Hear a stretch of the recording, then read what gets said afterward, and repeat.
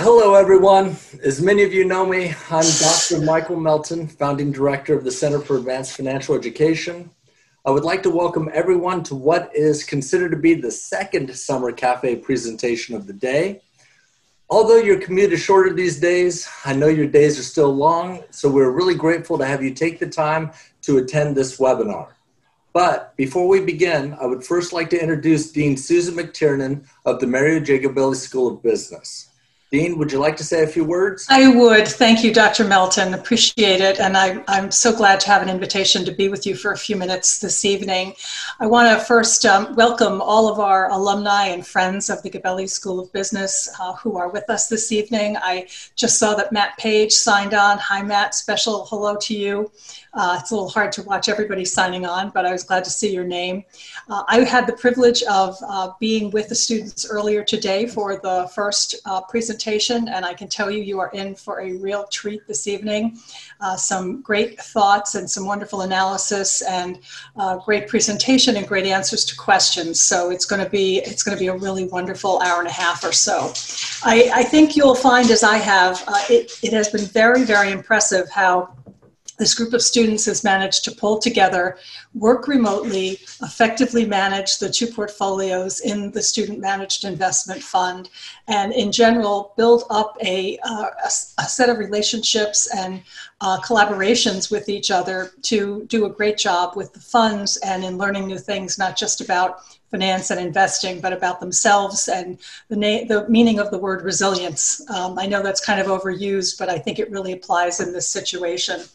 And I really want to uh, also thank uh, the uh, everyone who's with us who has contributed to the campaign the campaign for cafe. All of the alumni who have been so generous. I don't know if they're with us this evening but a special thank you to hans christensen and to mario gabelli for their continuous support of the uh, cafe program over many, many years now. And we hope that um, they will hear how much we appreciate everything they've given to the cafe, both from a financial standpoint and from their the point of their expertise and their experience in this wonderful industry. So thank you to them. Thanks to all the alumni. Um, and I'm a special thank you to uh, those of you who are repeating this presentation for the second time. I was a little worried when I first heard about that, but having heard from you all earlier today, I know that you are more than up to the task and I know it's going to be a great evening. So uh, I will say congratulations in advance because I know you're going to do a great job. So with that, I think I'm turning this over now to Matt um, for a, a, an introduction to the presentation. Matt, are you there? Yes. There you are. You. Hi, thank Matt. You, thank you. So just to get started, now all mics and video have been disabled for this presentation. Should you have any questions during the presentation, please feel free to use the Q&A feature and we will answer them all at the end. And we apologize for fixed picture presenters as we're trying to conserve on our bandwidth in order to bring you the clearest audio that we have. We will, however, be having a live videos of our presenters during the Q&A session. Also, this presentation is being recorded. Welcome everyone to the Center for Advanced Financial Education Portfolio Management Program's first ever summer presentation. Thank you to everyone for joining today and supporting all the hard work that has been done this summer. My name is Matt Wozniak and I'm the Chief of Staff of the Cafe. On behalf of Dr. Michael Melton, I would like to take this time to welcome and thank our distinguished panelists for being with us today. We are joined by Michael Coriel, Danny, Danny Walser, Brian Jones, Susan Wynn, Ryan Corey, and Matt Page. I also would like to introduce our moderator, our moderator for today's Q&A session, Jacob Hallgren from the spring class of 2020. I'd like to take this time now to introduce the associate directors, the portfolio managers, and the student fund managers. My name is Brett Monifo, and I'm one of the associate directors. My name is Madison DeSantis, and I'm the other associate director. My name is Brandon Baez, and I'm one of the portfolio managers for the Cafe Core Fund. My name is David Willett, and I'm the other portfolio manager for the Gabelli Value Fund. My name is Zachary Saunders. My name is Ricky Reimers. My name is Emily Gilday, and we are the Financials, Energy, Industrials, and Communication Services Analysts. My name is Neda Hashemi. My name is Molly Wilson. My name is Katie Smith, and we are the Healthcare, Consumer Discretionary, Basic Materials, and Utilities Analysts. My name is Gabe Reale. My name is Alex Dervartanian. My name is Frank Zimonek, and we are information technology, consumer staples, and real estate analysts. Thank you, guys. As you all know, the Center for Advanced Financial Education is traditionally run in the cafe room inside the Gabelli School of Business. Like last semester, the analysts have faced unique obstacles as the learning environment remained online for the duration of the summer.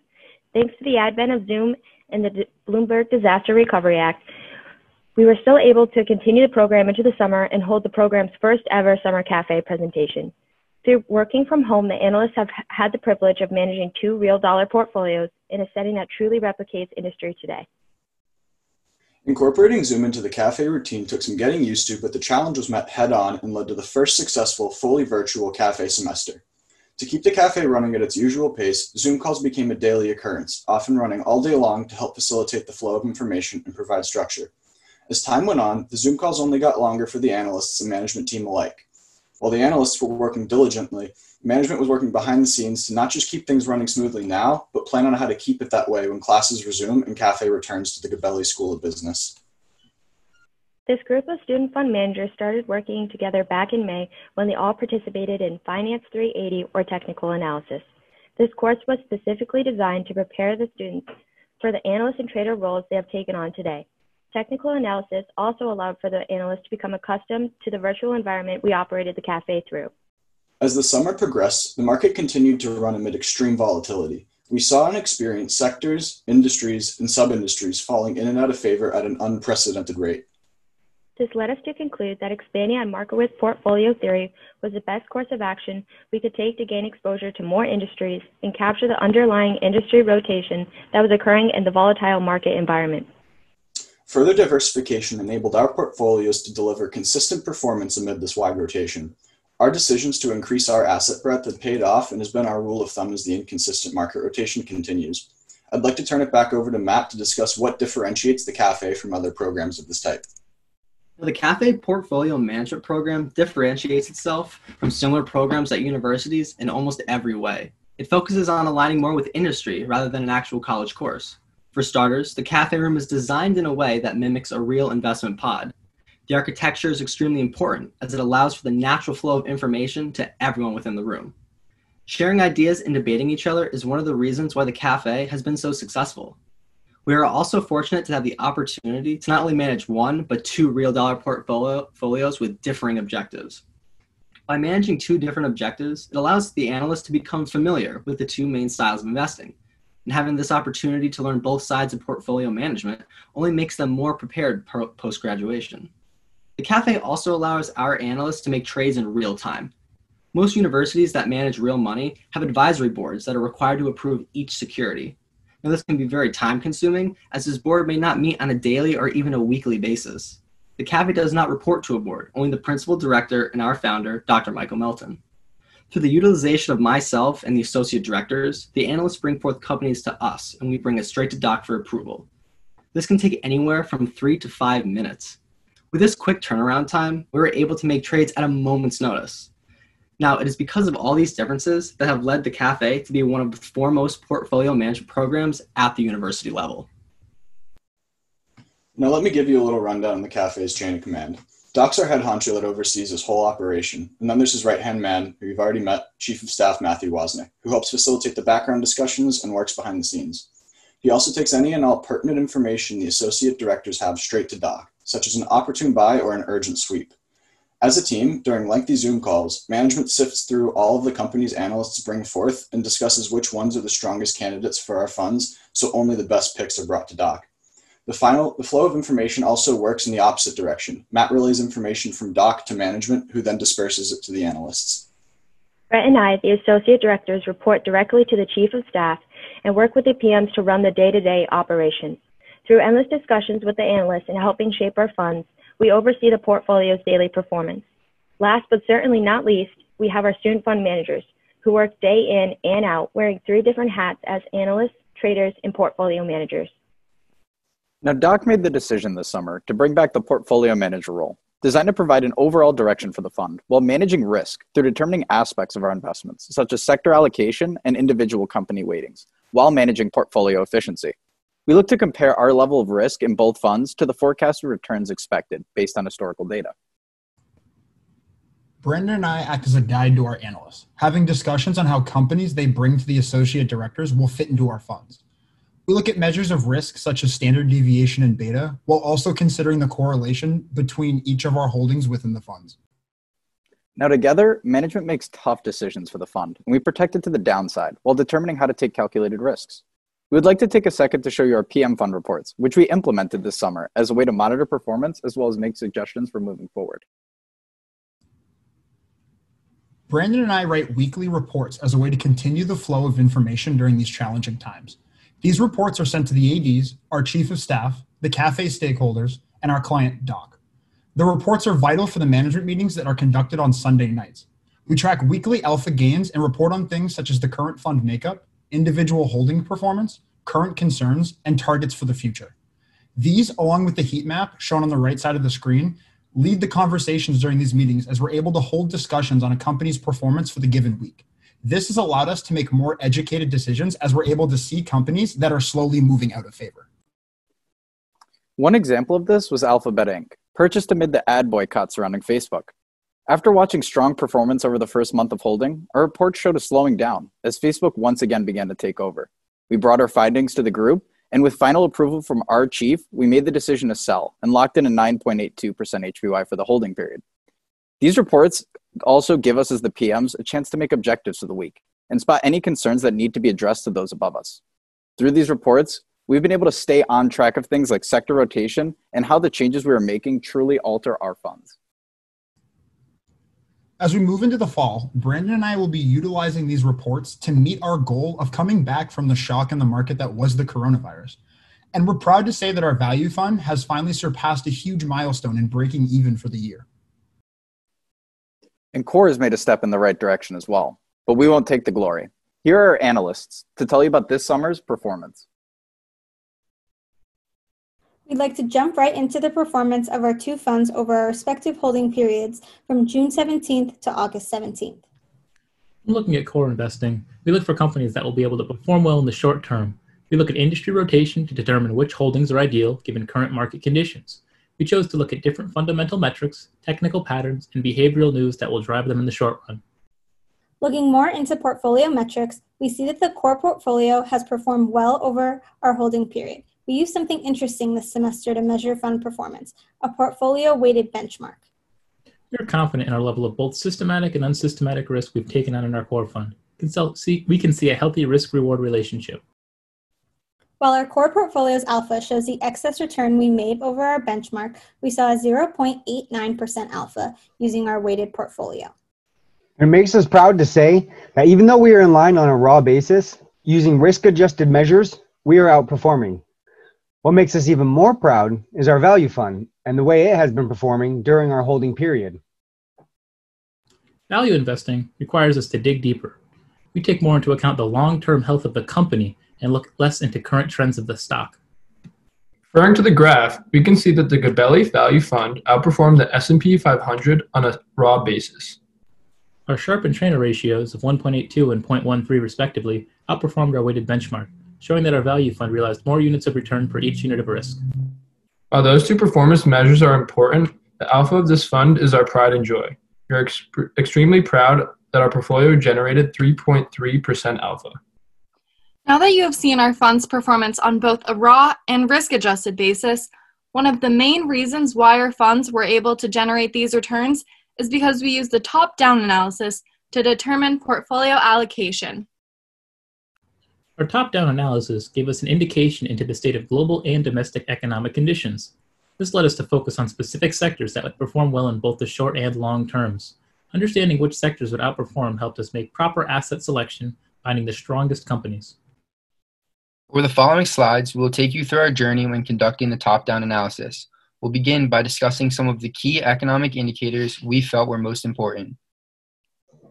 Before we started the CAFE program, we watched the US GDP fall 5%, indicating contraction in the US economy.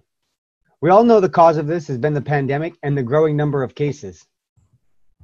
The Fed took action to lower interest rates to near 0% and introduced a stimulus package in hopes to stimulate the economy.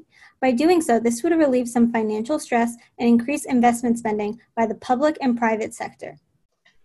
The stimulus package had helped increase disposable income in the short run by 13.55%.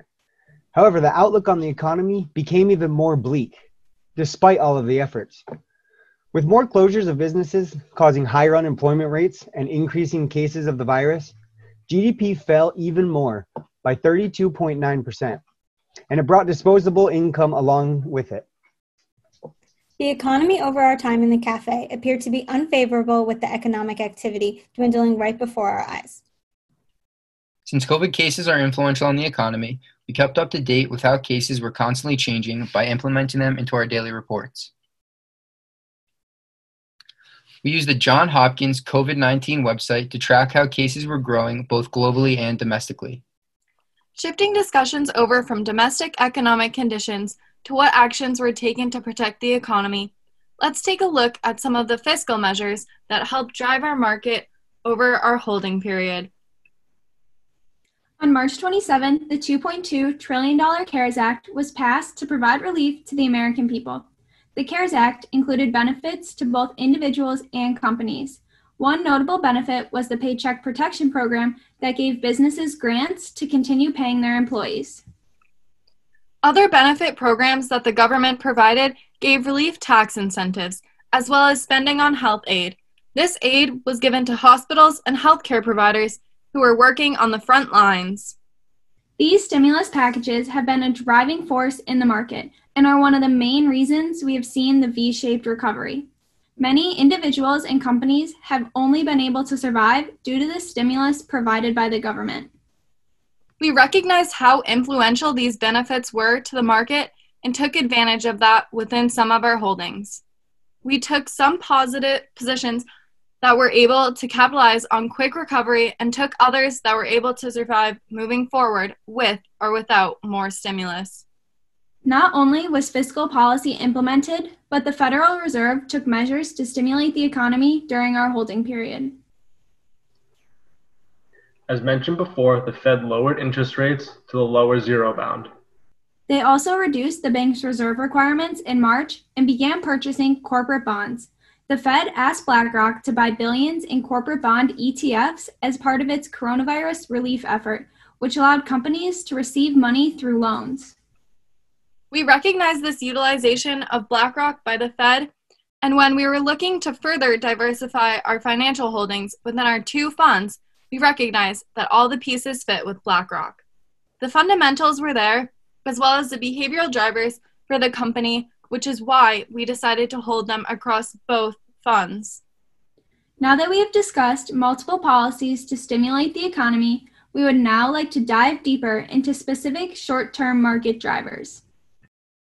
When we first started the portfolio management program, we had to quickly acclimate to the COVID 19 driven market and grew accustomed to deciphering the relevant catalysts in this environment. Everyone has probably read countless articles explaining our V shaped recovery, but we would like to give you a quick refresher. The first driver that became apparent was the new demand for essential items. Another driver is states imposing and retracting stay at home orders to combat the spread of the virus as we tried to make plays accordingly. For two out of the five weeks of us being portfolio managers, we had to weather the volatility that comes with earnings season. We were able to use earnings to our advantage, and that, in turn, became a driver with the aggregate earnings of the S&P surprising by 21.86%. This shows how analysts overestimated the effects COVID-19 had on the economy and specific companies. After taking the short-term drivers into consideration, Neda and Molly will discuss our sector weightings. We saw more pessimistic economic indicators, potentially leading us to a bearish outlook, but we saw the market driven more by behavioral news surrounding COVID, giving us a more bullish short term outlook to start the summer. Over the past six months, we saw COVID related sectors drive the market. As we continue to see the circumstances surrounding coronavirus deteriorate, we made the decision to overweight the healthcare and consumer staple sectors. When deciding what sectors to underweight in our core fund, we decided to focus less on those with weak fundamentals and valuation concerns. We decided to underweight the energy sector because it does not have any growth potential. Our outlook in the future for our core fund is moderately bearish due to the long term driver that Alex will now discuss. In this unpredictable market, we had to keep up with various long term drivers, including geopolitical tensions that forced us to focus on safer domestic positions, reducing our overseas risk, as well as the overall risk associated with the upcoming election. Last week, initial jobless claims came in below 1 million for the first time since March. This movement shows the first step the U.S. labor force is taking to adapt to the new work environment. We can see certain sectors adapting quicker than others, and in turn, we weighted our value fund accordingly. Given the influx of investors entering the market, there has also been an increase of speculative investors. The increase, increase of these investors has caused the market to become more volatile than ever before. After taking these long term drivers into consideration, again, here are Neda and Molly to discuss our sector weightings. Based on our long term drivers, we determined our weighting scheme for value. The main sectors we decided to overweight were the communication sec- services and the real estate sectors. With interest rates at all time lows and not increasing for the next two years, we predict that the real estate sector will outperform. In regards to the communication services sector, we are predicting that the coronavirus will cause more people to be working from home, which will drive the sector. We have chosen to underweight sectors that are very volatile. Information technology, utilities, and energy are the top three sectors we underweighted. Our weighting scheme and value contributed to our positive alpha. Our outlook in the future for our value fund is also moderately bearish due to the coronavirus and other long term drivers that were previously mentioned. We not only take sector weighting into account, but we also diversify across different industries. Here are Brett and Maddie to discuss further. As the market pushed higher, there were periods where it wasn't the companies with the strongest growth projected leading it higher. Instead, it was the beaten down sectors and industries where there was still a good bit of uncertainty, such as energy, financials, and industrials. Moving into the summer, we focused on finding companies with cash flow statements and balance sheets strong enough to weather a recession. We also actively seeked out companies that offered products and services with inelastic properties. These companies were more concentrated within the information technology, healthcare, and consumer staples sectors. We also knew things weren't quite right when there were some days when consumer staples and discretionary were moving in tandem. These market movements led us to further diversify our funds, not to lower unsystematic risk, but to better capture the performance of the market by holding the most favorable assets in these more volatile sectors and industries. Since equity markets hit their peak back in February, the underlying foundation of systematic risk in markets has flipped. Stocks from the technology and healthcare sectors, for example, used to amplify market movements, rising higher when the market went up and falling further when it declined. But in the COVID 19 market, they actually display lower volatility. At the same time, defensive stocks that previously exhibited a dampening effect have lagged the spiking or declining market, now having sharper ups and downs. Markowitz portfolio theory holds that proper diversification of a portfolio across 25 assets can't prevent systematic risk, but it can reduce, if not eliminate, unsystematic risk. However, in the current investing environment, we felt building on Markowitz portfolio theory and holding up to 32 assets was the best course of action to efficiently capture the rapid sector and industry rotation while we were seeing we were seeing to effectively minimize risk. These next few charts should help show you how the diversification has improved our fund's performance. Building off what the ADs have just explained, when our summer group first took over the funds in the end of May, we were only diversified in 20 assets in our core fund and 25 in our value fund.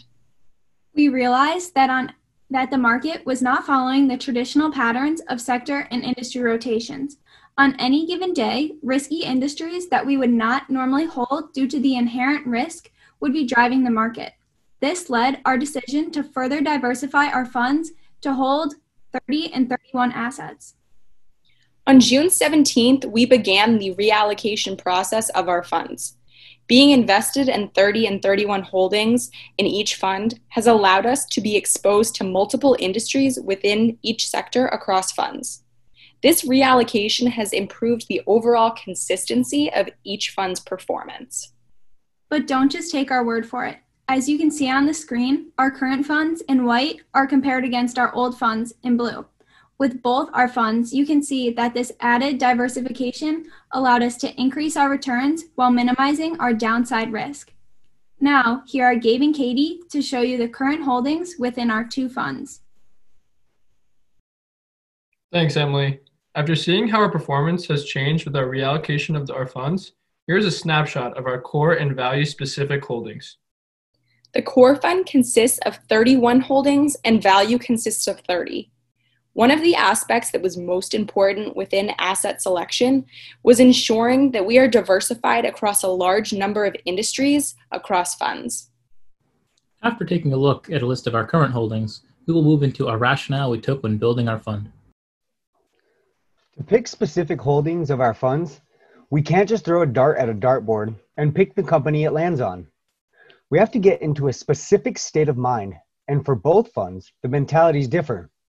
For our core fund, we have to think about how we can gain the most profit in a short amount of time by taking key actions such as major earnings plays, researching short term drivers for undervalued opportunities, and having a sweep in the back pocket ready to bring to the table. On the other hand, our Gabelli Value Fund has a longer time horizon. We look at what this company can do for us in the long term by using a buy and hold strategy. We focus on fundamental metrics and financial statement analysis to project stable growth when constructing our value fund. Now that we have given you the rundown of how our objectives differ, Katie and Alex will now explain how technicals play a role in asset selection. Now, all of us in the cafe have actually been together longer than the five weeks the program was scheduled for. We took technical analysis way back in May and were able to learn how to become a trader. What we would like to showcase for you is our ability to execute trades at the most opportune times. We're able to not only buy while stocks are at a low, but sell at times that help us obtain the highest possible HPY. In technical analysis, we used measures like the relative strength index and stochastic oscillators to determine trade triggers. With Veeva Systems, RSI was in overbought territory for most of the month. The short term stochastic oscillator crossed the long term from above and the MACD increased its negative divergence, leading us to exit the position as all three indicators pointed to a perfect selling point.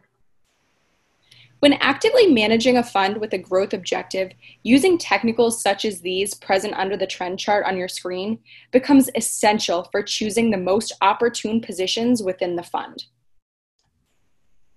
Now, the strategies the student fund managers learned in technical analysis are used most frequently within our core fund due to the active management strategy.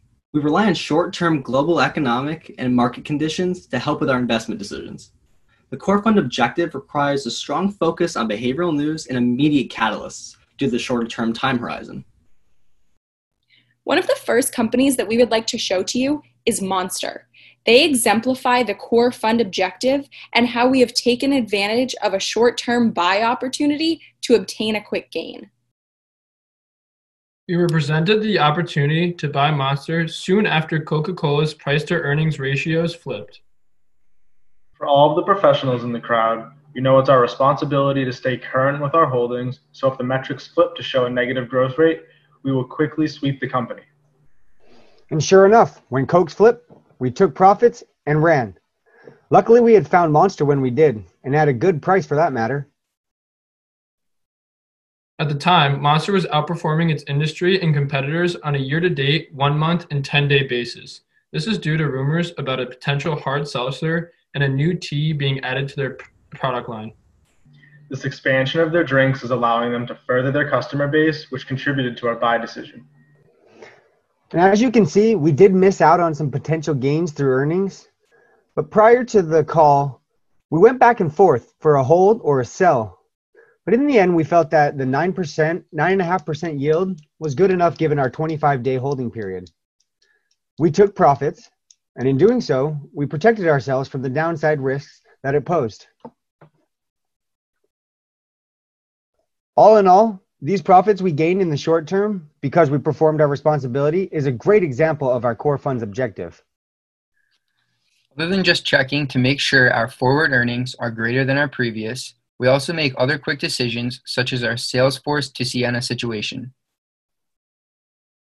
As we kept up with our active management style and core, we recognize a sweep opportunity subbing out Salesforce for Ciena.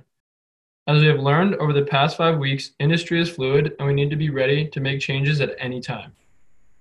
We felt that this industry was a good hedge in comparison to our other holdings because it didn't follow the trend of bigger technology companies. This was a decision based on possible industry rotation, but mainly behavioral drivers. Since we are constantly changing our outlooks on industries and specific companies within the tech sector, our decision to sever ties with Salesforce and incorporate Ciena has paid off tremendously. Now we know that Salesforce has gained a positive return since we said goodbye, but we were able to gain a higher HPY by holding Ciena. Not only do we make sweeps when necessary to gain HPY, but when earnings season came around, we took advantage by making several earnings plays. Ricky will now discuss further with UPS. We all hate to admit how many times UPS has dropped off one of our online purchases throughout the lockdowns, but we recognized this short term driver in the transportation industry and took advantage of it. As we moved towards UPS's earnings on July 30th, we had to decide whether to take profits prior or hold them through. Before earnings, we had an HPY of 14.76%. Through our earnings analysis, we looked back at analyst revisions for earnings and revenue estimates for the four weeks prior. These revisions led us to believe that the street was uncertain on how UPS would report. Additionally, UPS had been trending up in the 10 days prior to their earnings. After performing our due diligence, we decided we were confident to continue holding them through earnings. UPS beat on revenue and EPS, showing the demand throughout coronavirus had a very positive effect on the company.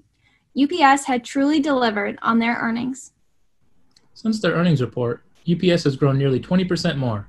This successful earnings play, along with our continued growth after earnings, helped contribute to our current HPY of over 48%. Over the five weeks of the CAFE program, three of them were highly focused on earnings analysis.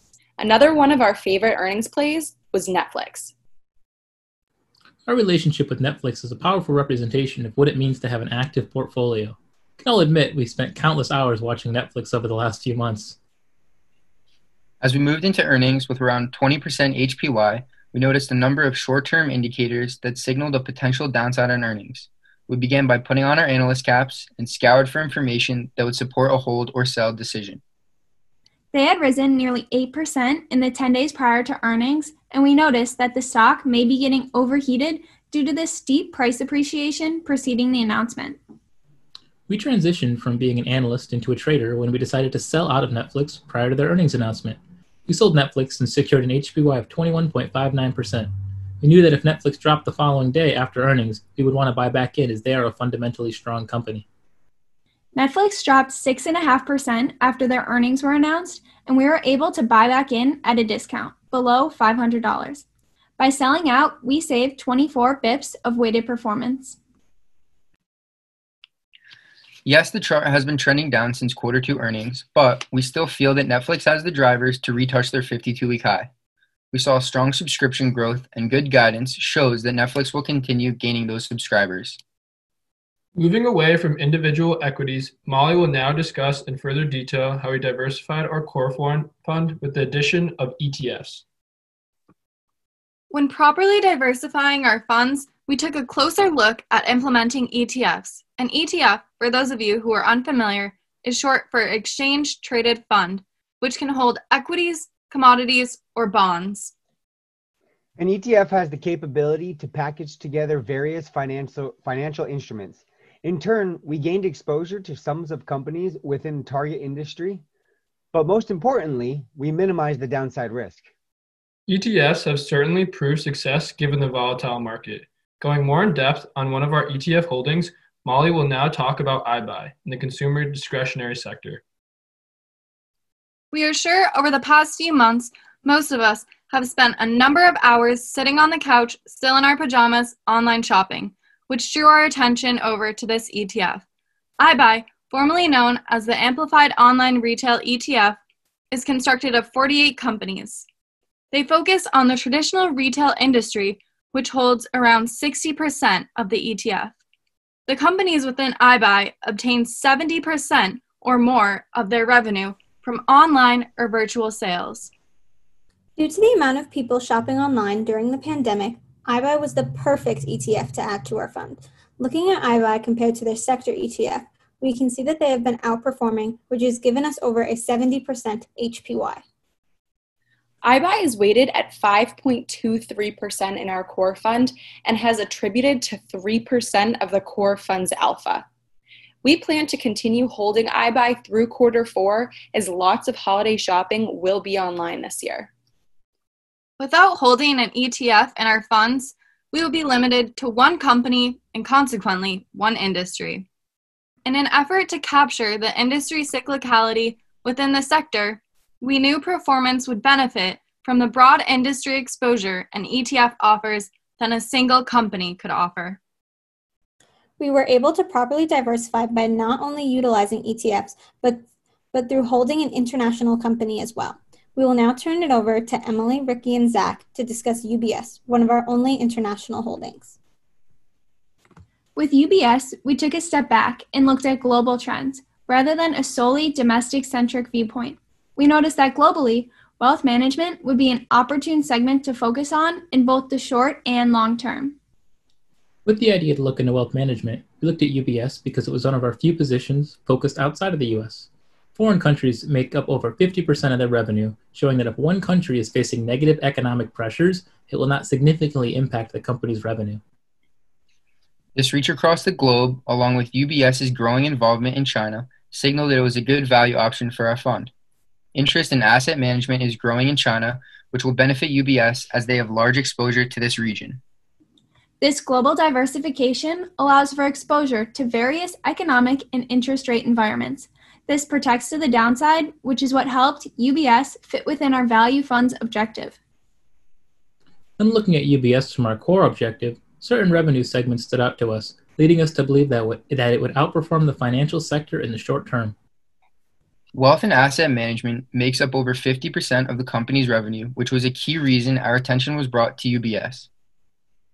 This segment has been on the rise since March, and as we see the volume of investors in the equities market is increasing, we knew we wanted to capitalize on this short term driver. We also see UBS having a positive G prime, which is better than competitors Bank of America and Morgan Stanley, which both have lesser G primes. This positive growth rate differentiates UBS from many of its competitors. Moving on from our core portfolio, Matt will now introduce our value fund and its objectives. Within our value fund, we hold companies that we plan to keep throughout year throughout year's end. To truly understand the long-term growth potential of a company, we heavily rely on fundamental analysis to seek out undervalued assets. As most of you may know, firms mainly incorporate the bottom-up approach. However, we take a different approach than the norm when it comes to value investing by using a modified top-down approach. When talking about our value strategy, we dig a hole two feet wide and two miles deep. This narrows down the companies within our selection and are able to get a deeper understanding of what the company does along with how they are performing. To explain how we were able to select these companies in order to fit our value fund time horizon, Gabe and Ricky will explain more in depth our modified top down approach. With our value strategy, we use a similar method to our core fund. However, we focus on a longer time horizon, which in turn changes the outlook we have on specific companies. The reasoning as to why we say modified is because of the current environment we are in. Positive economic indicators do not necessarily depict a positive reaction, and vice versa with the negative ones. Therefore, we have to dig, dig deeper within the company itself to find specific catalysts and drivers to match our time horizon. We look at the overall health of the economy, but also which sectors will be leading several months from now. Lastly, we make sure any company we choose has the structure to withstand any economic changes that the pandemic may bring. Emily, Zach, and Alex will now discuss why you should follow our lead. With the high volatility in the market, we needed to be patient and remember what truly makes a value company. We looked for undervalued companies that have strong cash flows and fundamentals high dividend yields, and future catalysts. We chose our value companies to ensure that we were not taking on too much risk and would be protecting our funds to the downside. Thus, price stability and continuous earnings growth became key points of analysis in our funds. We find the best companies for our value fund by extensive analysis of every holding. Some of those companies we would like to highlight have a high upside downside ratio, strong fundamentals, and solid financial statements. As we move into our value holdings, the first company we would like to highlight is O'Reilly Auto Parts. O'Reilly Auto Parts within the consumer discretionary sector was one of the first companies we were able to get into the value fund. Within the discretionary sector, we needed a company that had the capacity to perform even with the setbacks related to COVID 19. The automotive industry immediately intrigued us as it had been performing well thus far. Their investing cash flow statement started to drop as O'Reilly expanded to Mexico and Puerto Rico. O'Reilly capitalized on NASCAR being one of the few sports still operating during the pandemic, sponsoring the O'Reilly Auto Parts 500 race this summer. This led to the beating of their EPS and revenue estimates for quarter two. We didn't see any of O'Reilly's competitors have a price reaction that was as high as theirs. This led us to the discussion of holding the company or selling them and taking profits. We decided to continue holding them based on our prediction of the resurgence in COVID cases, leading to negative implications in new car production, new car production supply chains. These supply chains will continue to be disrupted, forcing consumers to repair their current vehicles instead of buying a new car. Within value, the most important analysis tool is oftentimes fundamentals. So we would like to showcase two companies we believe to have strong fundamentals in very different ways. Gabe will now discuss NVIDIA, another company with long-term gain, long-term gains also held in our value fund. You all may be thinking, how can a company with an HPY over 57% be good value? Shouldn't we be taking profits? Let us show you why this semiconductor company is a solid pick for a buy and hold strategy. Before our time in the cafe program, NVIDIA was bought and it had a consistent upward trend. When analyzing this company, it still showed great strength with constant drivers to propel its momentum forward. Within the trend channel displays our summer group displays when our summer group acquired NVIDIA from the spring group and it was on the lower end of the channel at that time. On the other hand, you might be thinking, what about advanced micro devices? It has returned more in a shorter time period. Well, through our analysis, AMD is too volatile of a stock to expose to our value fund, given its daily standard deviation of 3.7%. NVIDIA is one of our value holdings that has strong fundamental analysis, but continues to grow with the behavioral drivers surrounding it. When we first analyzed NVIDIA, with the strong impact of work from home, we saw that the race with five with seven nanometer processing chips was happening between NVIDIA, AMD, and Intel. NVIDIA was the only company at the time that had the seven nanometer chips, along with rumors of it already working on the five nanometer chip. And as of recently, we have seen a conti- continuous and consistent growth of NVIDIA. And this is due to the following behavioral drivers that Gabe will discuss. NVIDIA is in discussion with SoftBank in order to purchase the chip business ARM. ARM's technology appears in products like connected appliances and Apple devices, including the recently announced custom silicone for Macs. On top of that, they have recently come to terms with the acquisition of Mellanox Technologies. NVIDIA will use them for the execution of AI and networking as there has been a recent global surge. All of these drivers exemplify the following demand that the semiconductor industry depends on. Now, looking at a company with strong financial statements, we'd like to move on to Honeywell. One industrial holding in our value fund is Honeywell International. They are an industrial conglomerate with the ability to generate revenue through different segments. We wanted to reduce risk by exposing ourselves to companies that are less susceptible to industry rotation. Honeywell, being a conglomerate, we expect more modest continual growth moving forward. Honeywell has products that you have probably heard of, like thermostats, fans, and PPE. Also, Honeywell has industrial automation and aerospace segments, diversifying their product offerings. We knew that Honeywell, having diversification within itself, would be a safe investment given the current volatility. Additionally, we knew we needed a company with strong enough cash flows to facilitate continued growth throughout the pandemic. As seen here, operating cash flows for Honeywell have been increasing over the last four years indicating that Honeywell is improving its operational efficiency. Although 3M shows higher cash flows, their growth rate is much more stagnant. This past performance does not show the entire story. Looking ahead, we are also confident in Honeywell's future performance. Despite the challenging first half of this year, Honeywell was able to beat EPS expectations over the last four quarters, beating its competitors 3M and GE that were unable to do the same. Although we currently have a slightly negative HPY for Honeywell, we continue to hold them into the future because we believe in their long term drivers. We bought into the company at the beginning of the summer, knowing that they had value characteristics. We expect that in the future, we will see a resurgence in demand for their currently underperforming segments. Not only do we put an emphasis on fundamentals and cash flow statements for our value fund holdings, we also take into consideration behavioral drivers of each company.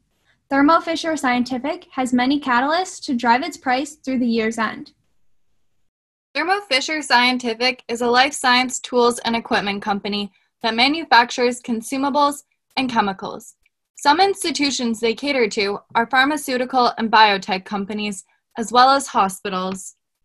In response to COVID, Thermo Fisher introduced a new type of testing system that is able to detect nucleic acid in the virus. This new system is capable of processing up to 6,000 COVID 19 samples a day, and they have been taking and they have plans of taking this new system globally. Thermo Fisher's business segments are growing at a minimum rate of 8% quarter over quarter. Last quarter, we saw Thermo, Thermo Fisher's Life Science Solutions segment grow by over 29% quarter over quarter.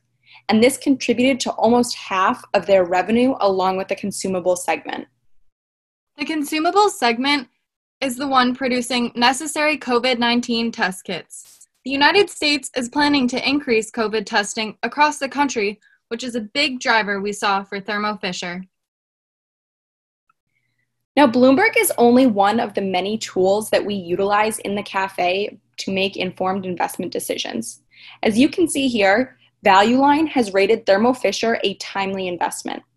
One of the reasons Thermo Fisher has such a strong timeliness rating is because of the continued demand for their reagents and how it has driven sales since the COVID 19 outbreak. As the screenshot of this article shows, the CDC has established the IRR as the United States struggles with a shortage of reagents, which are essential to coronavirus testing. In addition to behavioral drivers, we measure future potential a company has through calculating the upside downside ratio. This ratio gives us a better understanding of how much upside the company has compared to their downside. One company we wanted to mention due to their upside downside ratio is Ball Corporation. An upside downside ratio tells us where the company sits in relation to their high and low PEs. Ball Corporation is continuing to show its strong upside downside ratio of 10.39, meaning we have 10.39 units to the upside for every one unit to the downside, based on their behavioral drivers that Molly is about to talk about. On June 30th, Ball announced a deal with Blue Ocean Innovative Solutions to represent their aluminum cup that is going to be sold in Walmart and Sam's Club's locations across the country. Recently, Ball and Crown Holdings had a pullback in price due to a small competitor, Canpack, announcing the construction of a new plant in Scranton, Pennsylvania. This allows more to the upside potential and price growth that is shown above. Moving away from our specific holdings, Molly and I will now discuss the value fund's correlation matrix. We ran correlation matrices on both our core and value funds, but wanted to showcase the value fund to you here and explain the significance of this type of analysis. For those of you who may not do this for a living, Imagine investing in two completely unrelated companies in different sectors, let's say Clorox and Lowe's, both of which are held in our core fund. These two companies are highly correlated, appearing in red. Despite having some highly correlated companies, we have seen that both our core fund and value fund mostly hold companies that are moderately correlated in yellow. Now, our value fund is slightly less correlated than our core fund we are seeing a number of the 30 holdings within our core fund, within our value fund, that have a correlation that is almost zero and represented in green. Two companies that represent this inverse correlation are CVS and Amazon. While two, these two companies might have some product overlap, they almost never trend together on any given day in the market. Now, we would like to turn it over to our portfolio managers, Brandon and Dave, to discuss how we use the minimum variance portfolio. Now, as you have learned, the significant focus of our portfolio methodology lies within our weighting scheme. This summer, Brandon and I, as portfolio managers, investigated how to create an optimal portfolio with our objective to reach 30 and 31 holdings within our value and core fund, respectively. Now, the CAFE has put an emphasis on Microsoft Excel, and through utilizing the data analysis tools within it, we created a minimum variance portfolio, or MVP sheet, designed to determine an efficient weighting scheme. The sheet uses historical data to determine efficiency, and we set parameters to design a fund around weightings within the S&P 500 with key over and under weightings. The sheet then creates an efficient frontier, a graph of standard deviation versus return, created by a point with maximum return, minimum variance, and minimum return. An efficient fund sits on the line of the frontier, taking on a healthy amount of standard deviations for projected returns. We began by considering the differences between our funds and what optimal truly meant. We looked to construct value to limit standard deviation and variance while focusing on undervalued equities with barriers to entry in their respective industries that overall produced a stronger weighted dividend yield. Normally, we would expect this fund to lie further to the left on the frontier and on the lower end. Now, pictured here is core, where we are willing to take on more standard deviation at the expense of greater returns. Now, we focused our portfolio on short term growth in order to achieve this. Core, we would expect to see on the farther right of the frontier and higher up, indicating a higher return coinciding with that higher standard deviation. Now, as shown here, the move from 20 to 31 assets benefited the core fund significantly. Now, while we may have given up some returns, we moved up to a more efficient portfolio. Similar to core, Value reacted in the same way, and we accomplished the same results by minimizing risk and maximizing return. We created a portfolio that lies in the efficient frontier. Models like this have aided in the creation of these funds during the volatile market conditions as we move past the coronavirus. Now, as portfolio managers, Dave and I are always looking for ways to improve the funds and manage risk. This MVP sheet, along with the weekly PM fund reports sent to our board members, stakeholders, and doc, keep us on track to navigating the way through this tough market. We would now like to revisit our fund's performance over our holding period. We showed you at the beginning how we performed against our weighted benchmark, and now we will show you how we ranked against our competitors. Our Cafe Core Fund performed well over our time as student fund managers. As we looked at our competitors, we saw that we outperformed some and underperformed others in different risk adjusted measures. For both fund performance comparisons, we used Jensen's Alpha because we cannot record we cannot record the comparable fund's weight accurately as they do not report their weights on a daily basis. Our Jensen's alpha is 0.68% and it beat all but two of our competitors during our time horizon. We'll now continue by looking at performance by moving into the Gabelli Value Fund. Our Gabelli Value Fund performed well during our time as student fund managers as we returned a Jensen's alpha of 3.91%. Similar to our core fund, we see that our fund is outperforming some but underperforming others in different risk adjusted measures. Now, I'm sure you're all thinking how impressive everything you've seen thus far is, but we'd like to let you know we aren't perfect. So, we're going to talk about a day where we lost some major points in alpha due to unforeseen circumstances and the lessons we learned from them. Over the week of July 13th, our core fund lost 37 bips of weighted return. On this day, we learned that not every day is sunny with a positive return.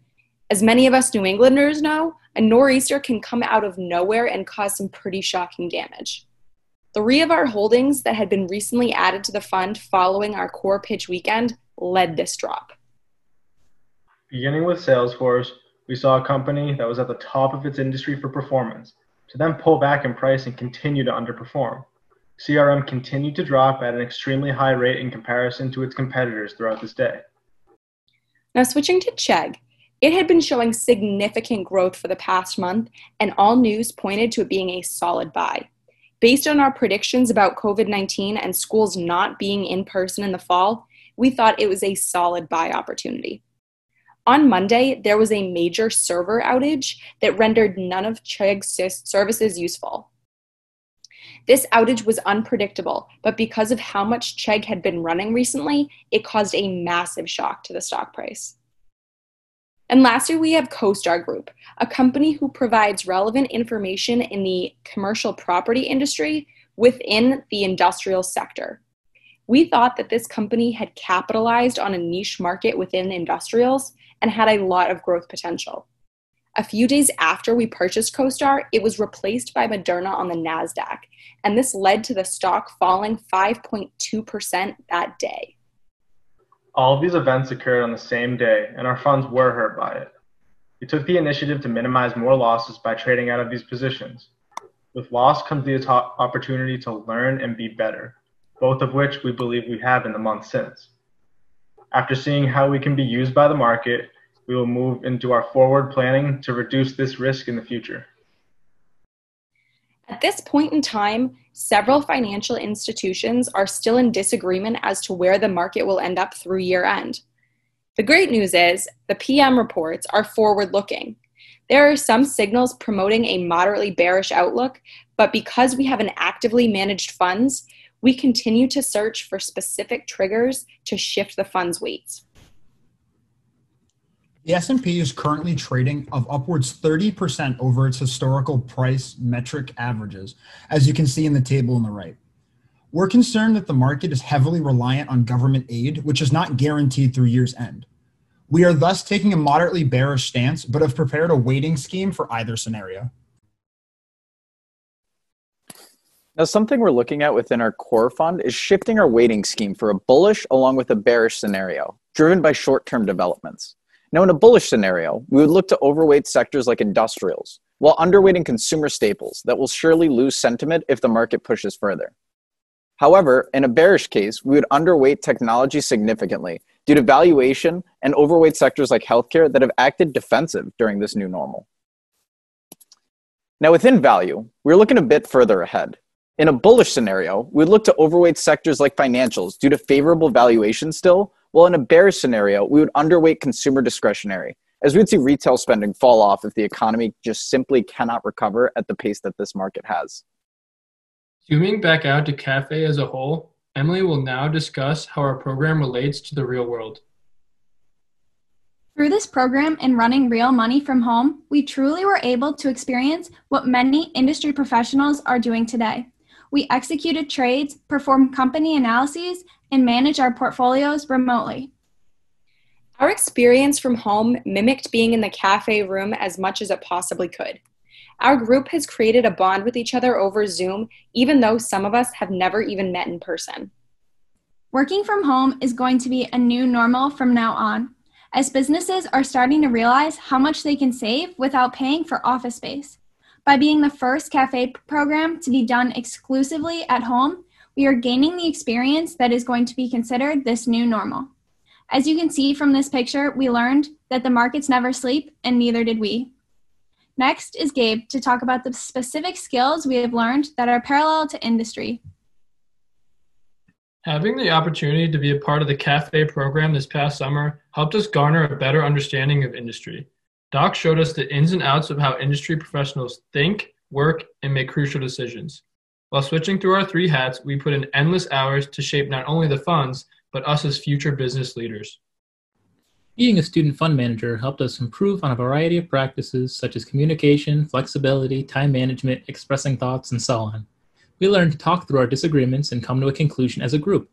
Through this process, we learned how to adapt to working remotely, he also developed professional skills as well, including a multitude of qualitative and quantitative characteristics. Katie and Neda will now talk about how the CAFE program here at Roger Williams University relates to industry after graduation. Many of us have had internships so far and would tell you that while they are demanding, CAFE has prepared us for industry in ways that they could not.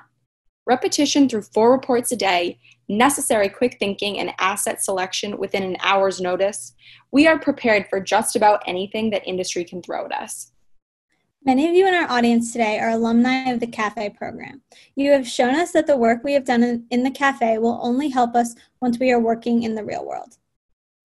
Furthermore, we would like to take a moment to thank our ADs, PMs, and DOC for the privilege of being in the CAFE program. On our transcripts, CAFE appears as a three credit course, but the experience of having been in the program is much more like a full time job and then some. The skills that we have been able to build upon this summer will be useful in so many more applications than just a job or resume builder. We are still learning, and although we now wear three hats analyst, trader, and portfolio manager we learn life skills from this program that we will never forget. And thank you as well to our audience for your patience, time, and allowing us to present to you. I'd like to turn it back over to Matt to open the Q&A. Now, on behalf of Doc and myself, we'd like to turn it over to Jake Holgren from the CAFE class of 2020, who will be moderating our Q&A session today. Thank you, Matt. I would like to start off the Q&A by turning it over to our panelists to see if they have any questions for our student fund managers.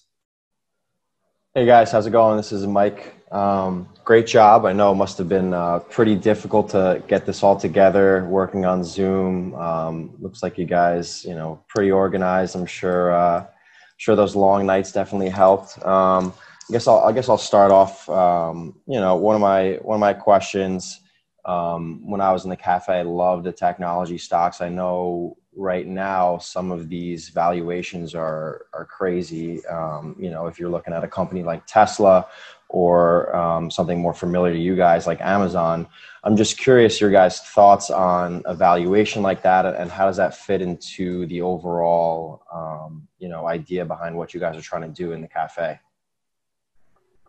Uh, thank you for so much for the question. Um, so when looking at technology, valuation was definitely um, very high, and it was definitely hard to look at. Um, but one of the big things that we really noticed when looking at them was things that they were doing now to have them progress moving towards the future. So, like a lot of companies, I know specifically a company like Nvidia or Amazon, um, and even going towards Apple, they have a lot of progress moving into quarter four towards the end of the year, which a lot of investors want to look at now to try to find good buy-in times to continue seeing growth towards year end. So I think that a lot of behavioral drivers to follow where the stock price is going can definitely help moving forward. I hope that answers your question. Yeah, absolutely. To add to that, um, also we kind of looked into hedging a lot of our um, technology companies. As we talked about, um, Ciena was one company we put in there for more of a hedge. Um, that aspect of communications and our like bullish outlook on communications is really forced us to look at it that way. And it helped us on days where technology was not looking too good and it helped us out in the long run. That's that's great guys. Great answer. Um, i'm also just kind of curious on that same point. I know it's obviously been a pretty crazy summer in terms of the volatility and companies you know like like amazon could could pop one day to 10% or you know in some cases even more depending on the company um, how do you guys decide when you want to take your profit or you know make the decision where this could run another 25% over the next few weeks or, or months or whatever it may be what's like the indicator for you guys to say all right let's let's sell now let's lock in this gain we like to look at um, technical analysis and look at the stochastics and the MACD to see when the good sell time is and see whether they're going to um, get out of their trend channel or not. So that's one way that we really like to to look at um, when to sell and when to take profits. I can also add to that uh, that point. Um, in the PM Fund report that myself and Brandon write on a weekly basis, uh, we keep track of how our holdings are doing on weekly bases. Uh, so we're able to go back and see when things start falling out of favor. Uh, maybe we'll watch a company that's been performing very well for us for a couple weeks uh, start to see two weeks in a row of it uh, say underperforming its uh, sector. So that's when we start the discussion of okay, we can we find a better company that might be a better sweep? Uh, do we still see more upside in the company? Stuff like that. I hope that answers your question. Great, thank you. All right, Ryan, do you have any questions for the group? Yeah, um, I wanted to ask you about your real estate picks in the core fund, I believe, uh, specifically EQIX, and, and what sort of led you to pick uh, that specific REIT. Well, I believe that the Equi- Equinix is in our uh, value fund, where in our core fund we have AMT. But what led us to pick Equinix is in the real estate sector right now, because of COVID having such a large impact on uh, that that market, we were basically trying to find the company that was performing the best, and Equinix had seemed to have the best valuation metrics. Hope that answers your question. Yeah. Quickly, quickly just jumping onto that as well. Uh, we, we sort of looked at the sector itself and the industries within it. Um, and as you could tell from the makeup of the REITs within each of our funds, we sort of went a little bit more technology and specialty based as, as opposed to something like an industrial REIT. Um, so for right now, uh, we just currently see the environment a little bit more favorable towards those technology REITs, but we have specifically in the core fund been starting to wait for that turnaround point where we'll start to see those underperforming REITs start to come back. So once the um, once we start to see growth potential coming back from those as the economy moves into a safer direction, we will start to reassess our current REIT holdings and possibly shift. I like I like the pick. Uh, I definitely like EQIX. Um, then also, uh, have you considered adding electric vehicle exposure uh, to either portfolio? And then, like you know, if you can't or why not, um, you know, what has sort of prevented that? You know, preventing you guys from, from making an investment uh, in that space. Uh, it's not something that we've done a whole lot of research into solely based on the focus that we've had so far um, in both of our two holdings. We've kind of just been within our core fund looking at a shorter time horizon and looking to capitalize on, um, you know, getting those kind of quick gains. And based on the way the economy is performing and the, the current volatility that we're seeing, we don't think that it's a market that is going to do well right now. If that answers your question. Yeah. And just quickly adding to that, um, you know, from a portfolio manager and risk perspective, it really comes down to valuation for us. Um, you know, with the huge influx in speculative investors that we've seen this year, we've seen heightened volatility specifically within that industry. And currently, with our with the way that we manage risk within our fund, we don't believe that it is an investment that we're willing to make at this time. Yeah. Um, but we currently see that the consumer trends have been shifting towards that industry. So that is something that we're going to continue to look at once valuations come a little more in line. So, it, further to that, I think you know sometimes there are new companies that um, might not have you know years of fundamentals that you can analyze to sort of make the case for. Were there any specific companies that you wanted to buy this year that you know maybe their lack of history, recent IPO, um, or unprofitability sort of prevented you from being able to pull the trigger, especially when pitching it to Doc? Um, so throughout the semester, um, we didn't necessarily focus on companies like that with IPOs, given that they did not have a lot of fundamental background. We wanted to look, given the volatility of the market, to focus on where companies stand and how they can show that they're going to keep up with the way that COVID is affecting the market and the future growth potential that we're seeing. So, given that, um, one of the companies that we looked for here and there uh, that I had pitched potentially was a company like Qualcomm. But one of the reasons why there was um, further discussions rejecting it was because of overseas risk, because of risk in China. Um, so given that, we that relates to a point prior um, how we looked for a lot of domestic investments. Building off of that, um, when we analyze companies, we don't solely base on their fundamentals. We like to look at their behaviorals, and personally, I this summer have found a real joy with technical analysis.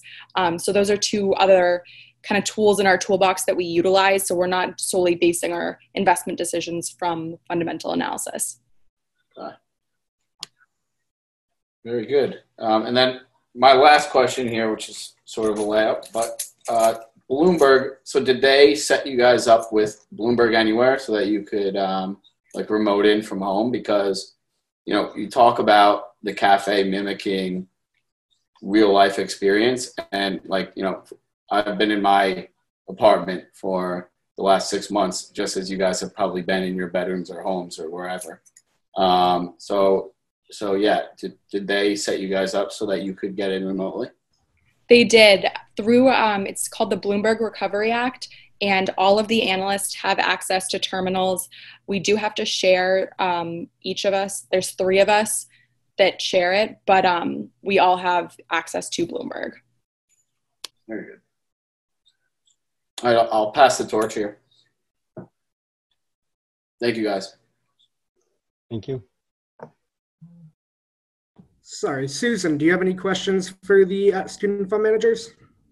I do actually, but first of all, congratulations. You guys did a great job, especially given the situation and not being able to see each other in person and have long late night sessions, um, like we all know. But um, the question that I have is you mentioned a comeback from the COVID shock in the fall.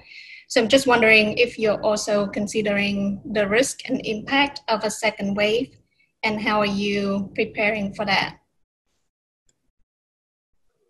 Well, we're always um, preparing ourselves for the risk of a second wave as we, you know, have seen that this pandemic could actually happen. You know, prior to the pandemic, who would have thought that the pandemic would have happened? But we're now that it, it has, we are always preparing ourselves. That's why we implemented the COVID 19 tracker. And we are always keeping up to date with what industries are leading, which ones are improving, which ones are starting to weaken, just so we can keep, you know, up to date information on whether or not our holdings are going to be affected by a certain country that is being affected over another country. Um, building off of what Frank said, uh, we also in the cafe program take an active management style of investing. So we're constantly uh, on our toes 24 uh, 7, monitoring our funds as well as the market, uh, as well as our PMs, uh, our risk management. So through their PM weekly reports, uh, they manage how much risk our portfolio is taking as the market changes. Thank you. And then another question that is related to the perfect storm situation that you guys faced in July. So I'm just curious as to how you came to this decision to eliminate those positions instead of holding on and writing that writing out the dips. So um, based on the the kind of perfect storm situation that we had, we saw such significant loss um, that for us it was just a decision of we can't continue to hold like we can't wait this one out and see this loss occur because of the overall like the shortness of the term that we were managing the fund as well as that with some of the companies that did cause us this loss um, their potential to grow was cut by this this perfect storm. So their capacity to make us money as a as a company was just gone at that point to continue on with that, uh, specifically for Salesforce, one of the things that we had noticed was industry rotation. Salesforce being the application software industry, we had seen that start to lag and communications equipment start to expand and increase. Um, so Ciena was a very big option for us to go into um, and make the sweep to uh, keep up with industry rotation. All right, Danny, do you have any questions for the student fund managers? Yeah, hey all. Uh, thanks for the presentation. Appreciate all the efforts that you guys put in. I think it's pretty clear, you know, how much work uh, is, uh, it entails, especially over the summer and, and throughout COVID.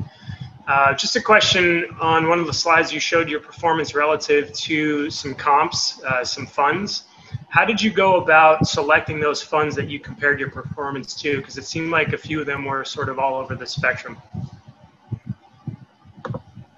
uh, looking for competitors. We all came together as a group and we started uh, looking through Morningstar. We uh, used their screener and we put some of the um, important uh, parts of our fund in. Like we're going for, so for core, for instance, you know, it's a core fund with a shorter time horizon. And then we just started looking at some of like their weighting schemes and top holdings to see what would similarly uh, work with the fund that we had. Building off of what Zach said as well, um, we felt that it was more difficult in finding uh, competitors as our time horizons are different. Our holding period was from June 17th until August 17th. So our holding period was definitely different. Okay, no, I, I appreciate that. Um, and, you know, that said, then must commend you on a job well done on, on the outperformance that the, uh, the fund showed. Um, that's it for me, but, but I know Matt Page here has a question. Yeah, um, I think for me, I'd be curious to know what stock or, or stocks you guys would consider shorting right now and, and what kind of level you'd be looking to close that position. Yeah, I could definitely answer that one. So, I mean, within the fund right now, we don't actively look to short anything, but uh, maybe in the future, if there is an opportunity that would be discussed with management and with Doc. But as of right now, we, we don't look to do that uh, anytime soon. Yeah, okay, but uh, maybe through your analysis, there have been companies that you decided not to buy. Did any of those rise to the level where you would, you know, do the opposite and actually take a short position if you had the option to do that? Yeah, I mean, something that we're looking at right now, uh, as was mentioned before, was uh, technology. Um, and within certain industries within that sector, we are seeing some overheated companies there and some opportunity to possibly benefit from a pullback from technology. um, due to the fact that we can't necessarily short companies. Um, within both of our weighting schemes, we've actually taken pretty significant underweightings within tech, um, something that we're looking to protect ourselves to the downside. Um, so within that sector, we believe that there's probably a couple um, a couple shorting opportunities there, along with a lot of the speculative investments this year. Um, something to keep an eye out for are commodities right now, like gold and silver, that have been running really hot um, as the dollar has fallen. So something else to consider to make money to the downside as well. All right, I'm going to move over to do some of the Q&A feature questions. Sean Sweeney, Cafe alumni, asked, what was it about UBS's wealth management division that you liked versus all of their competitors? So um, to answer that, as many of you probably are familiar with, UBS's uh, wealth management division is one of the largest globally, and we really liked that about them because that added to their value side and limiting their risk, being such a globally dominant company. Um, in addition to that, with their global exposure, they're not just um, in the Americas or within Europe, and they're somewhat not equally um, dispersion across their different segments, but having that substantial hand in not just the Europe, but also in Asia and the US really protects them to the downside, depending on the different outlooks of any specific country's economic environment. So that's what really drove us to UBS specifically over their competitors. And uh, just adding a little bit onto that, we uh, we see a lot of markets being driven more by behavioral news surrounding COVID rather than the traditional economic indicators. So seeing how certain regions are uh, coping better with the with the pandemic, we'd ex- expected more uh, growth so just having the global exposure kind of like mitigates that risk. And also, just to kind of wrap up with the question, they simply outperformed um, anything that was domestic. So that was something that we really like to see, um, especially within core, lo- looking uh, beyond the U.S. So it was it was really great to see. All right. The next question is from Anthony Barillo. He asked, "Did the move to online classes in the spring help you manage the funds remotely this semester?" I would say they have. While uh, it was definitely more intense over the summer uh, cafe course versus you know just going into a lectures through Zoom at school, the uh, the ability to like learn and like have an exposure to how you're supposed to operate in this in these conditions helped us tremendously. I hope that uh hope that answers your question. I mean, and adding on to that, um, I know me and the fellow uh, fellow management. Uh, we were all here for the uh, semester that was unfortunately cut short, and we ended our semester online. Um, so the summer program didn't necessarily get to have that huge transition. Um, something that we noticed was the level of camaraderie that we have within the cafe room is something that we look to replicate in any way that we can. Uh, and you know, as you saw through the presentation, we really focus on those Zoom meetings, and you know, we're talking to Doc constantly, along with the rest of our analysts, to make sure that the flow of communication continues, because that's really what we pride ourselves on within the cafe. So as long as this environment continues, cafe is going to do whatever we need to do to keep running. If I may jump in and be able to add to that real quickly, the one thing that I have noticed, and I'm sure most of the cafe alumni and industry today can attest to this, is that um, with the advent of remote meetings uh, across Zoom, I'm more excited about the fact that we no longer have to worry about being in the cafe which allows me to meet more with them. So I can call a meeting at midnight, one o'clock in the morning, so on and so forth. So, in terms of actual um, contact hours, under this scenario or this environment right now, uh, I think this summer group will attest to say that um, we've had a tremendous amount of contact hours, and uh, they can't run and hide from me. So that's that's kind of all right. Well, thank you. All right. I'd now like to go to Cafe alumni Dean Cascaras. Do you think, with recent news, such as the president expanding access to drilling in parts of Alaska, or companies such as Chevron looking to Iraq for new exploration deals, there could be any favorable outlook in the performance of oil and gas exploration companies in 2021? So, wow. with um, the energy sector, obviously, we know that it's going to be heavily dependent on demand and the coronavirus. And depending on how the coronavirus is contained and if there's a vaccine. And I think we, um, with the new expansion to Alaska in the Arctic National Wildlife Refuge, although that is could be groundbreaking for some companies, having to build all the infrastructure and put set up all of that is going to have very high investing costs for the few years that it's going to take. And over the time that in the, just for next year they're not going to be able to see those returns especially since there's such a lack of demand um, looking towards next year. And now I'd like to go to cafe alumni clayton cagiano what holding that either got in the fund or was rejected caused the most debate among the team well, one that I definitely remember that caused a big debate was General Mills. We had a lar- we had a discussion that lasted, uh, you know, we probably went over two three days, and it I mean it just caused so much. There was there it didn't get into the fund. Some of the student fund managers didn't like it. Some of the student fund managers were really for it, and obviously within Cafe we need to have a consensus. So that's why it didn't get in. But I definitely say General Mills was the one that caused the most debate that I saw another huge debate that we had just literally consistently throughout the entire semester was within the technology spe- sector, specifically within placing weight within semiconductors and semiconductor equipment.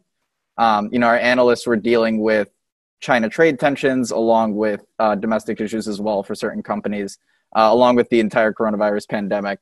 Um, and high valuations as well within that sector. So those those were companies that were hour long discussions, five hour long discussions, and that went days at a time to figure out. So that was definitely a sector that caused a lot of debate this semester, especially among the PMs as well.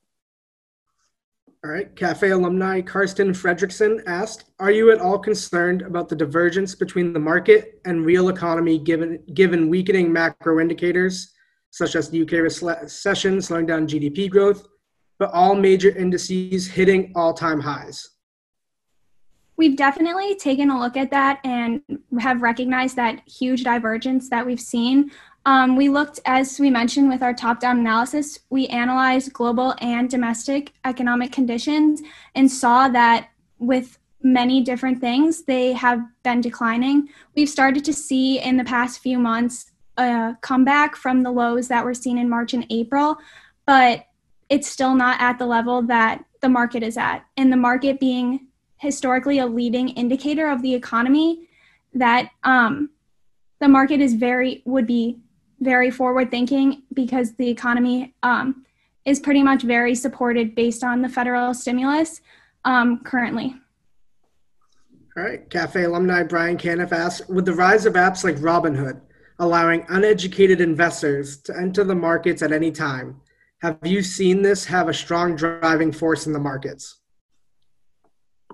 This is a really good question. Um, I would say that on a day to day basis, we're definitely seeing that people that are kind of working with day trading and utilizing apps that like Robinhood and not being fully aware of what they're doing might have a small impact. But there's a reason that we look at a, a very different time frames. We look at, you know, a one day, we look at a five day, 10 day, one month. And being able to do that, it kind of mellows out that change that you'll see with people that are not educated in what they're investing in. I would also just say to add to that, one of the things that we weren't too worried about was most of the uneducated investors that were using Robinhood or any of those, those type of day trading apps, they were looking towards something that we maybe would never look at based on our fundamental technical or behavioral analysis. So that was something that gave us a little bit more comfort to know that we were working probably against one another. Just we were not looking in the direction they were. So that was one of the main things that didn't worry us too much. Now, from Chris Leach, we have you mentioned using cash flow statement as evidence of recessionary resistant companies. Which ratios and trends did you look at? So, looking into uh, like at least when we're looking into Honeywell for uh, value, we we saw the uh, operating cash flows showing that they were increasing over time, and then um, that was uh you know, just being able to see that could still grow going into this kind of environment would uh help us believe that it would be uh strong. We also looked at um like price to earnings, price to book valuation metrics to see if like they were still expensive now or if we could get them cheap relative to their uh, other valuation metrics. In addition to that, we look at operational efficiency because it just gives us an idea of how that company is able to really perform um, given all of it they're putting into the company. And that's really important given the current climate with COVID 19. As Going well, We also looked at um, cash flows from investing activities. Um, we looked at O'Reilly's in particular, and they were getting um, more negative as the years went on, which was a good indicator that the company is investing more money and growing. I see that panelist Brian Jones has his hand raised. Brian? Hey guys, uh, can you talk about um, holding ETFs within the growth fund and sort of how you you know when when do you decide uh, to like let's buy this ETF or not? Um, and then you know do mutual funds ever come into the conversation as well? Uh, you know when when you're talking about that. Yeah, happy to answer that. So um, I'm going to start out with mutual funds. We shy away from them solely based on the fact that we don't want to have to pay the fees that are um, in line with mutual funds. And being able to hold an ETF, we're saving a good bit of money of what we're able to invest. Um, and then for how we choose them specifically, it really depends on the sector and being able to capitalize on an ETF that has a couple like companies within different industries that are performing. So if we see it, if um, iBuy, for example, is one of my favorite ETFs and has capitalized on the internet um, marketing retail industry, and then looking at like how it's compared to its sector, and then looking at the other industries that are within it, it's able to capitalize um, and perform despite you know COVID nineteen. And then we also run specifically technicals, fundamentals, and behaviorals on the top five weighted holdings within that ETF.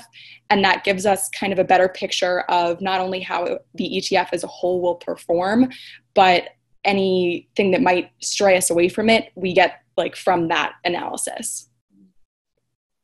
Also, to add to that, um, one place in particular where ETFs really fit a role um, for the possible future of the funds is um, in the biotech industry. We were kind of searching in there for a possible ETF because we really wanted to capture the the performance that the biotech industry had, but we really were afraid of the downside risk that it could do to our fund's performance. So we looked at ETFs in that sense. Very good, thank you. I would now like to go to Cafe Alumni Rev, who says, Good job. Can you give us your base case expectations for all thing COVID? So, um, looking forward into the future, obviously the coronavirus is going to continue to play a very influential role in the market, in our economy, in our day to day lives. Um, with that, as we have mentioned, the portfolio managers have very forward looking reports and we have prepared weighting schemes for both a bear and bull market. And we're constantly keeping up to date with our daily reports that we send out four times a day. Um, this is enabling us all to be ready to make any adjustments in our funds at the drop of a hat in order to keep up with the changing conditions. I'd now I'd like to go back to Matt Page, who asked, how do you view the risk of COVID related shutdowns impacting your portfolio in the future, and how are you defensively aligned? Um, we're rather bearish, um, and we've designed our funds to capitalize on the volatility that's seen within the market right now. Um, and then we're currently overweighting the healthcare and consumer staples sector in our core fund, and those are both very defensive sectors as we see COVID cases rising just quickly adding from uh, onto that, um, it's been an ongoing discu- discussion between uh, Dave, the other PM, uh, along with me, about sort of how to construct the funds along with the SFMs to minimize risk. And part of what we do there is looking at individual company holdings within our sectors. Uh, the best example of this is probably consumer discretionary. Um, you know, something where we see brick and mortar stores that will lead on days where the market is having a great day and then lag significantly behind when not. So something that we look for is consistency among our sectors, and to get that consistent consistency, we looked at, at our uh, individual company holdings. Uh, so something like Lowe's uh, is an example of sort of a recession proof company within sort of this environment where when we saw the stay at home orders happen, uh, people began going out in order to purchase goods and things like that to uh, better their houses, things of that nature. So these sorts of companies are the ones that we're looking at to sort of act as hedges to the downside if we are to see a resurgence, while also looking at those bullish companies that we expect to perform if we are to see a best case scenario for COVID. I'd now like to turn this back over to our Chief of Staff, Matt Wozniak. Thank you, Turtle. Now, if anyone would like any more information regarding the Center for Advanced Financial Education, uh, we ask that you please contact Dr. Michael Melton at mmelton at rw.edu and additionally, if anyone is interested in more information about the student fund managers, the Q&A session after the Q&A session, which is now, please contact myself, Matt Wozniak, at mwozniak537 at g.rw.edu. I'd like to turn it back over to Doc. I just want to simply finish up by saying, great job, gang. It's wonderful presentation. And I'd like to thank everyone in attendance today, especially the moderator and the panelists for taking time out of your schedule to be able to ask the tough questions, and everyone in attendance. What we don't know is we've had Tom Custance call in from Texas. We've had Trevor Seiberts call in from South California, SoCal. We've had Mark Grockmal come calling in from um, San Francisco. We have representation in this presentation from all over the United States, and it makes me very proud that the alumni uh, still want to take time out of their schedules, no matter where they are, to be able to listen into our performance. And hopefully, we're carrying or they're passing the torch to us, and we're carrying that torch and still providing the alpha that they would expect.